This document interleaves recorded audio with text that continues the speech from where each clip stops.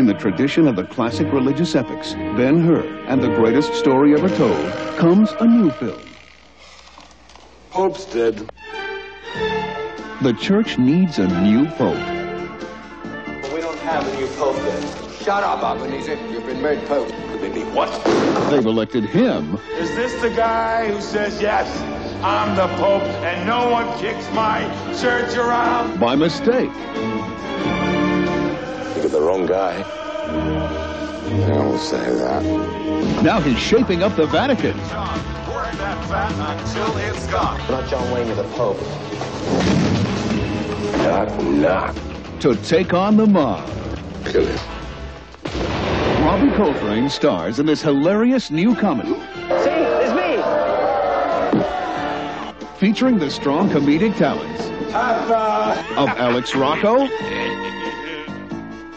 look fabulous. You look every inch of Pope.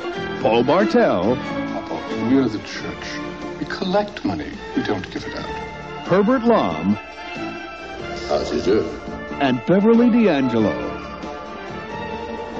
It's a great outfit. Hey, honey, want to meet the Pope?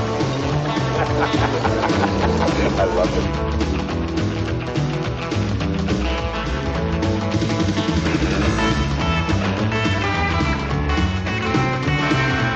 And kick, let's kick, let's kick. Duck.